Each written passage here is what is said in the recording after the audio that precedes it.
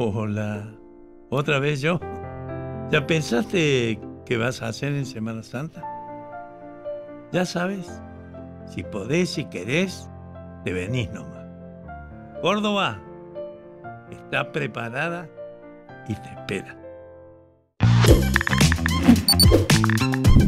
¿Seguís usando el Facebook? Nosotros también. Seguinos en Chequín TV OK.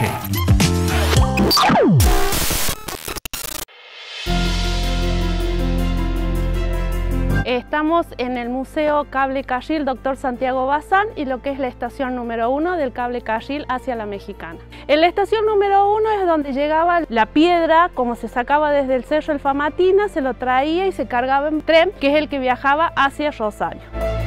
En el Museo Cable Carril van a encontrar los teléfonos, donde Chilecito fue pionero en tener la primera línea de teléfono en Argentina. Van a encontrar los minerales, las herramientas con las que ellos trabajaron y un libro de fotos que la saca el ingeniero Max Cooper, que fue inmortalizando paso a paso el momento en que se construyó este cable carril. Están puestas en valor la estación número 1, la estación número 2 y la estación número 3. Van a llegar solos, van a encontrar lo que son los guías de sitio que los van a acompañar, los van a hacer sentir seguros y les van a contar qué pasa en cada estación.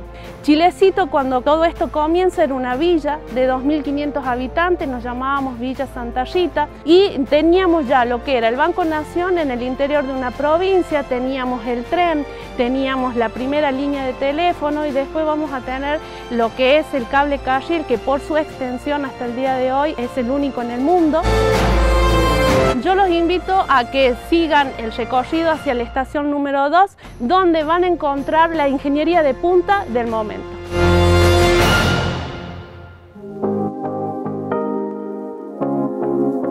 Estamos acá lo que es la estación número 2. Acá era únicamente a donde se hacían los desvíos o los traspasos de acuerdo el mineral o el material que las vagonetas a veces descendían. Aparte, por ejemplo, servía para traer agua, leña, minerales, también servía para el transporte de los mineros.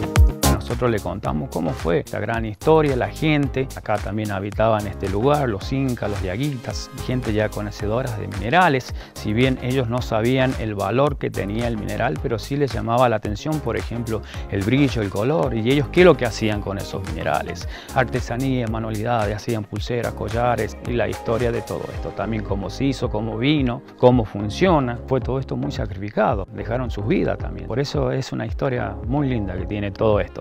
Los invito a todos que vengan a Chilecito a conocer esta fantástica obra de todos estos años que está el cable carril en Chilecito.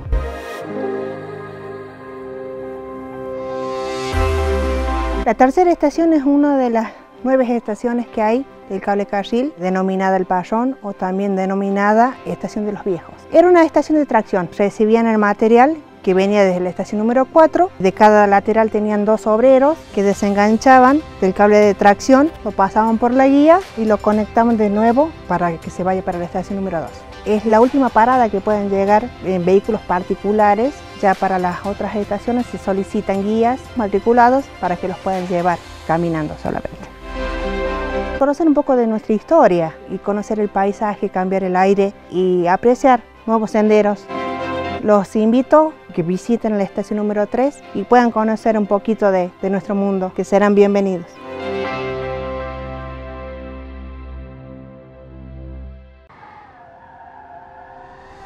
Mi nombre es Marco Moreno, guía vaquiano de aquí de La Rioja. Estamos eh, por empezar una excursión que es la mina de la Mexicana. Es una excursión de 5 horas, así que los invitamos a subir a las camionetas para que empiece la acción. La excursión comienza a las 8 y media de la mañana cuando los pasamos a buscar a cada uno por su hotel.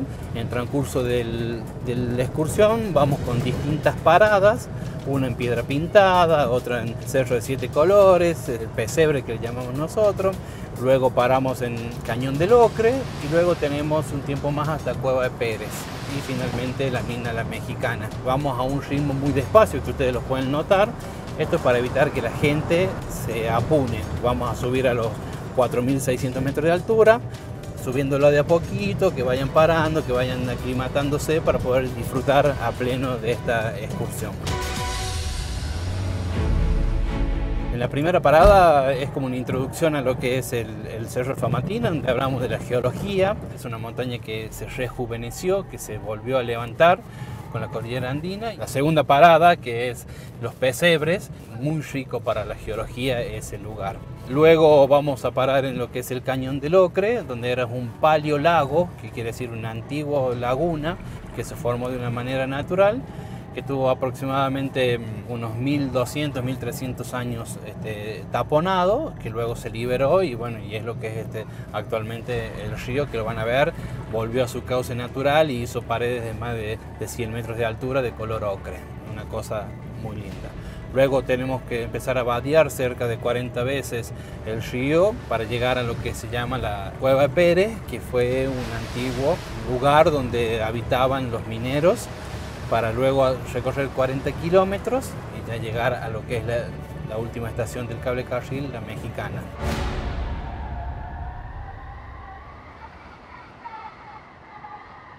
El último punto es la mina La Mexicana, que se encuentra a 4.400, 4.600, que es eh, eh, los socavones de la mina, un lugar donde la vegetación ya se perdió, donde son todas rocas, pareciera que está todo trabajado, pero no es natural, donde tenemos el lampallado, que significa cerro de rayos rojos, que es sumamente imponente, y después la sensación que tenés de llegar allá, ¿no? Porque llegar a 4.600 metros de altura, hay personas que pasan varios días para llegar a ese lugar, este, y bueno, nosotros lo estamos haciendo en, en, horas.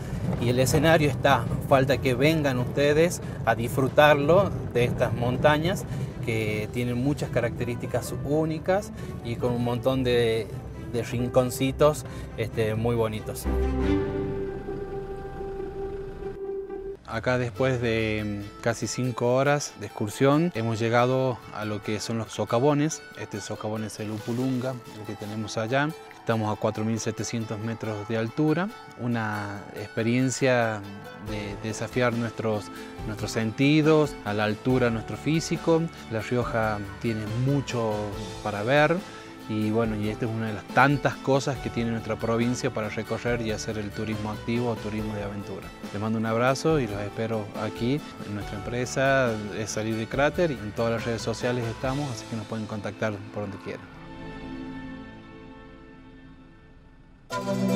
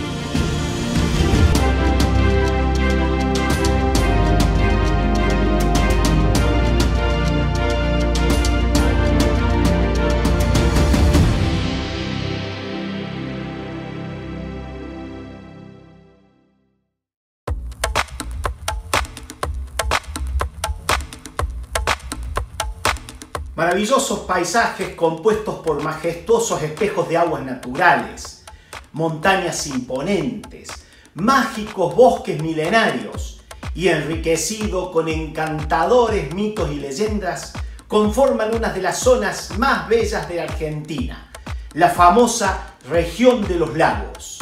Miles de turistas llegan durante todo el año para gozar de una inmensa oferta de posibilidades y es uno de los destinos más pedidos en el regreso de los viajes en nuestro país. Diferentes opciones como unos días en Bariloche para conocer esta bella ciudad y su gran entorno, con excursiones tan clásicas como Circuito Chico, Cerro Catedral, la Isla Victoria y el Bosque de Arrayanes, por ejemplo. Combinaciones con el clásico Camino de los Siete Lagos y las maravillosas Villas Langostura y San Martín de los Andes, disfrutando de vistas impactantes que nos harán enamorar de cada lugar, con la posibilidad de sumar las noches deseadas en cada una y hacer más completas las vacaciones, aprovechando para descansar en lugares únicos, realizando interesantes alternativas de paseos.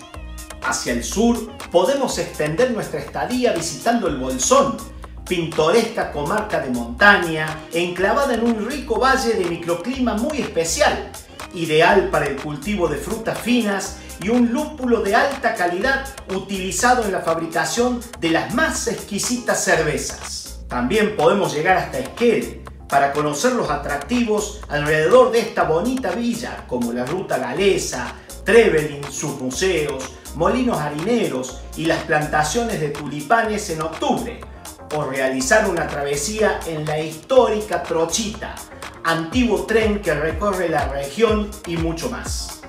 Opciones de 7, 8, 10 o 12 días son alternativas ideales de acuerdo a los tiempos disponibles por cada viajero, con alojamiento ya sea en posadas o cabaña, hoteles de 3 o 4 estrellas y para los más exigentes, propuestas en 5 estrellas de lujo.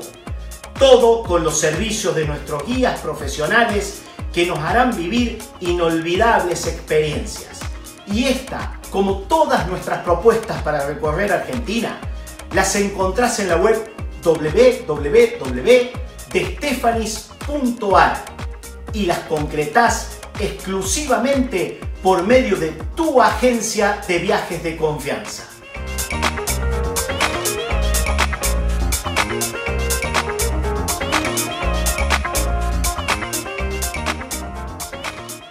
Final de nuestro programa de hoy. Esperamos que te hayan gustado todas estas promociones que te trajeron nuestros anunciantes y por otro lado cada uno de los destinos que te mostramos a lo largo del programa. Si quieres saber más, seguinos en nuestras redes sociales como Check-in TV OK.